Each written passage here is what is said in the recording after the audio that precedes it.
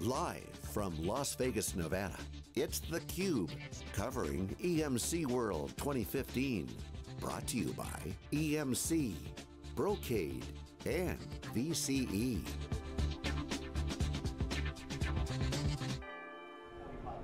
Okay, welcome back everyone. We are live in Las Vegas with theCUBE. SiliconANGLE's flagship program. We go out to the events and extract the signal noise.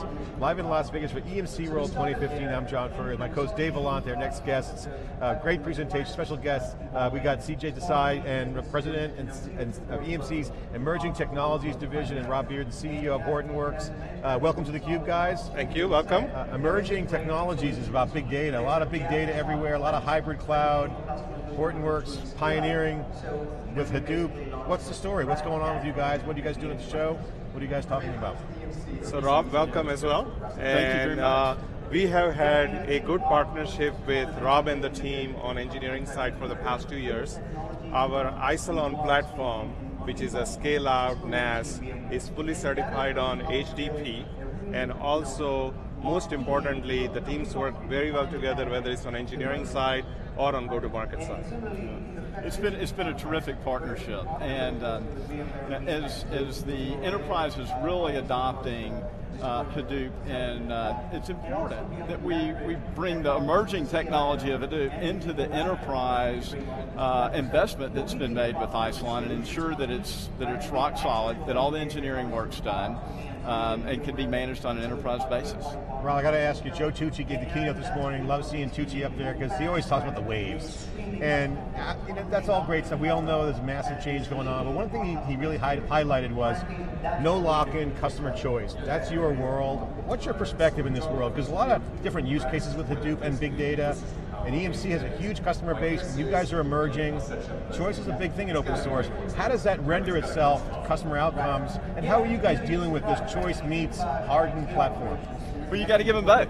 You got to give them uh, open enterprise uh, Hadoop, and that's that's what our models built around. That's one of the core uh, platforms of our strategy, and that our, our, goal has always been to do 100% of everything that we do, first and foremost, in and through the Apache Software Foundation, and uh, be 100% open source, but to, but to bring the enterprise rigor to the core platform, not only in um, the innovation that we bring, but how it's how the security is dealt with, how the operational functions are dealt with, how the life cycle and data governance requirements are dealt with, uh, but do it in a highly uh, productized, packaged uh, release and QA process that really ensures that that platform's rock solid, incredibly predictable, uh, and fits and meets the same enterprise rigor that they're already getting today in, uh, in their storage solutions with their strategic partners. So Hadoop, Hadoop is you know, mashing together with the enterprise, right? We've seen that. In the early days, it was sort of Silicon Valley in New York, doing a lot of Hadoop stuff. Um, now it's really come mainstream. When you think about the, the underlying infrastructure yep. for, you know, for Hadoop. A lot of people early on didn't even want to go after it because they didn't think there was any money there. Now I know the relationship predated your tenure, CJ, but but what are you seeing in terms of, of adoption in the enterprise and why Isilon? Why is it working? Yeah, so I would say first of all, you know, we do see when we talk to, as you know, EMC has a large install base, and when we go and ask them questions around hey, what's going on in your analytics space? That's how the conversation usually starts. What are you doing in analytics? Do you have any big data specific projects? And specifically, then go into Apache Hadoop and other types of um, solutions that are out there. So one thing that we consistently hear is that this is one area where IT feels that the demand is coming from a lot more from the business unit. And the business unit will say, whether it's you're in marketing or sales intelligence or any other types of uh, functional areas, they have made a decision to standardize and go with, say, for example, Hortonworks. And then they'll say, CJ, we have decided to go with Hortonworks. We are a long-time EMC customer. What products do you have to make sure that our Hortonworks uh, deployment is successful? And then the answer is, because our uh, relationship with Rob and the team for the past two years, we have done a lot of engineering work on Isilon. It took us a long time, just to be fair. Many engineers on both sides burning a lot of midnight oil. And Isilon, as you are aware, is scale out, It has security resiliency feature, and the most important thing that customers like is you don't have to now create another standalone infrastructure. I have all this data sitting in Isilon. I know it scales infinitely, meaning very large, and it has all the security features, replication, industry class features, and then let's make uh, Hortonworks project successful, and most importantly, the questions they want to ask out of Hadoop data, they can get it because they don't have to worry about infrastructure. So you guys, uh, Rob, have always made a big deal out of the, the, depth of partnerships. You talk about that a lot with, with many of your partners. So you're talking engineering resources here. Somebody once said to me, John, you'll love this, right? The only two things that matter in companies are sales and engineering. The rest of it is all BS. But so, kind of a side side joke. But um, I wanted to ask you. So you've got the engineering partnership. That's early on and done. What about the go-to-market? How did ODP, or did it, change the sort of relationship there? And really is, is a, the goal behind that is to be a consolidating factor and force so that the, the ecosystem in general can um, certify once and ensure that it has compliance across anything in the rest of the other distributions. And we've already seen great evidence and, uh, and support of that, and that's the, that's the whole goal behind ODP. And they're also assured that it's in 100% compliance with the Apache Software Foundation, and, and it goes back to the choice and, and having an open platform and not having the lock-in. And by standardizing on ODP and any of the derivative distributions that have standardized and are in compliance with ODP, they're assured Apache Software Foundation and pure open compliance, as well as the ability to get to the rest of the ecosystem just by certifying once and bring many together. So, so from a go-to-market standpoint, you mentioned, CJ, that's the business lines driving yes. it. EMC's not, or Pivotal's not selling a distribution, its own distro anymore, yeah. you know, standardizing on the Apache Hortonworks you know, distro. So, from a go-to-market standpoint, where's that come from? Who's who's talking to the business guys? I know you got Salesforce, Rob. CJ, obviously EMC has a huge sales yeah. force. Talk so, about how that all You know, works. the great thing about Isilon team, as you're fully aware, Isilon was extremely successful in many verticals mm-hmm. and going to the business lines. If you look at their roots, whether it's media, entertainment, whether it's manufacturing, oil and gas and others. So Isilon, we have a specialized sales force for Isilon, many people distributed around the world, and they have been talking to the customers. And the advantage here is the data is already on Isilon and now they want to run a Hadoop project on top, it makes just life much easier. So on my side, the specialty sellers and the SC force, and these are many, many people, as you know, uh, around the world, understand the messaging, and once we said that uh, HDP was certified on Isilon, we just have to unleash it to our sales force and they take care of the rest. So Isilon has always done that. And you know, we have one more product as you're aware, which is Elastic Cloud Storage, which is the object platform completely homegrown within EMC in our division. And this can scale up to an exabyte, right? And you know, with the object, many, many billions of files and all of that.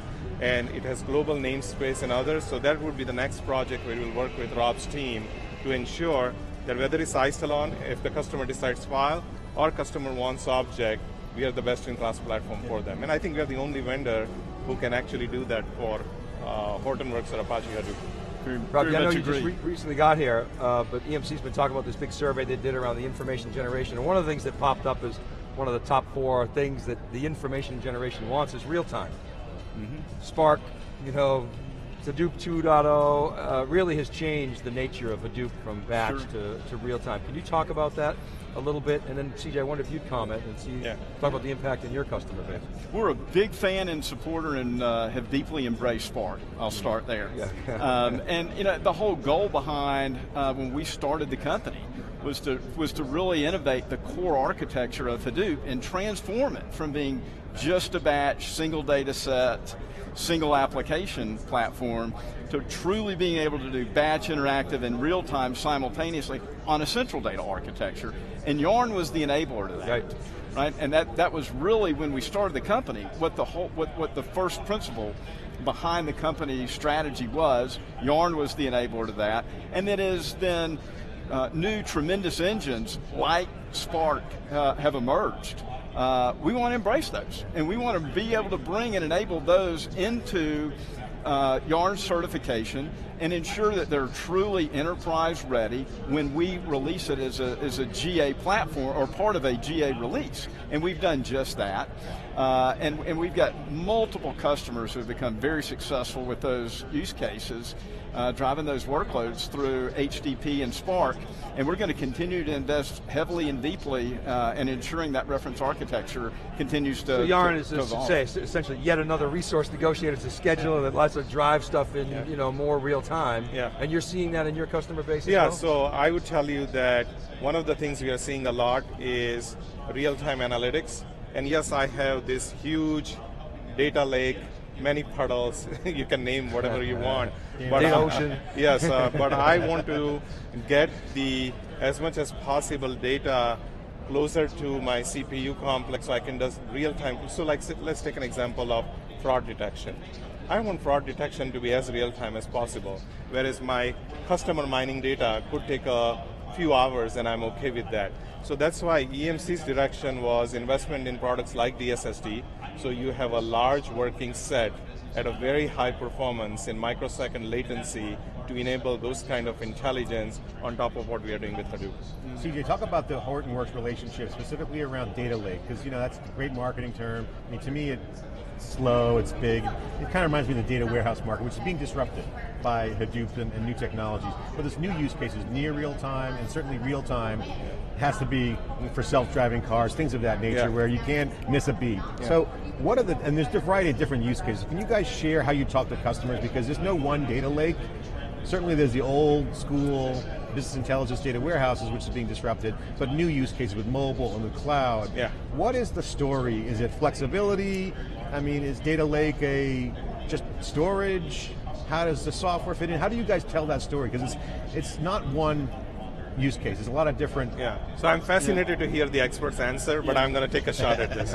so I would say yes. I mean, when you talk to customers, uh, data lake is a term that comes from our creative teams across the world uh, of all companies combined. Customers don't talk like that, right? They would come and tell us, we have all this data, do you support these protocols, and can you make sure we can leverage our investment in this infrastructure? And at the end, there is some management component which these guys are have done a phenomenal job in managing the data, and then how you can provide security resiliency, and then when we want to crunch numbers, can we do that fast enough? So when I look at, you know, I was with a large insurance company that is evaluating uh, Horton and others, they told me, CJ, we have lines of business come and said, we want to have, we can't wait for a few hours to get it. We want real time based on mobile responses and all that. And that's how they start the conversation. It's always the, what's the end game? And then it goes into okay i have data dispersed here these are the protocols and then it moves up the stack. Yeah yeah, yeah to your point data lake's a marketing term. What it really is is uh, uh, an outline of an architecture though which says we can bring all our data together in a central place. But then we have to be able to then combine multiple different types of use cases and specific opportunities to go create value from that central data architecture. Now, where our partnership comes in is that we can leverage the power of Isilon, right, to manage that with the power of Hadoop, enterprise Hadoop, to create that reference architecture. And then we, with the power of Yarn, can then mix batch, interactive, and real-time use cases simultaneously against that central data lake, right? And so that's where then where Spark uh, real-time opportunities or streaming Internet of Things type data sets into that and, and providing fraud detection in real time, we can mix all those with the power of Yarn yeah. on a Hadoop, on a HDP data lake, leveraging Isilon as platform. So if you believe that use cases, I, I, think everyone's in agreement this is where it's going, but now you add cloud, which you have, which you own, uh, if the customer has unlimited compute and XtremIO continues on its torrid pace, you, and you mentioned Spark, you talk about low latency data, transit, if you will, yeah. for lack of a better word, right? So that's that's a data ocean or whatever you want to call it, stream, river, whatever. so software's critical. So Rob, what is the vision that you guys are working on to make the software really badass to one, be compatible with the XtremIO high performance, be cloud ready with unlimited compute potential, and how does that fit into the EMC? Yeah, well that, that that's, uh, the great news is we've really delivered on a majority of that already together, and that's where our, our, our two years of uh, engineering efforts are really paying off. And uh, we want to give the customer and the enterprise the ability for whatever use case they have to bring it under management across our reference architecture and then be able to deploy it across any deployment strategy, whether it be on-prem, virtualized, or in a cloud. And we don't care. And we've already done the engineering work that the same exact bits from uh, HDP can be simultaneously deployed across any of those architectures uh, oh, by the way, on a Linux or Windows environment. And all of our engineering work and certification and optimization is already done and delivered today. Great relationship. What's next, real quick? What's next in the relationship we're, with EMC? We're, you're, you're, you're, seeing a lot of emergence of new data sets, fast-moving data, the world of streaming the Internet of Things, and all of the use cases and value creation of those applications and data sets that come onto the reference architecture, and we're enabling that to, to proceed As Paul quickly. Maritz said, it's the mainframe in the cloud, so the federation behind you. Congratulations. Great to have two great senior executives in the industry here in the Cube. Appreciate it. Uh, CJ, President of EMC's Emerging Technology, Rob Bearden, CEO of Hortonworks. Thanks for coming on the Cube. Really Thank appreciate you. it. We'll be right back after this short break, live in Vegas for EMC World 2015. I'm John Furrier with Dave Vellante. We'll be right back.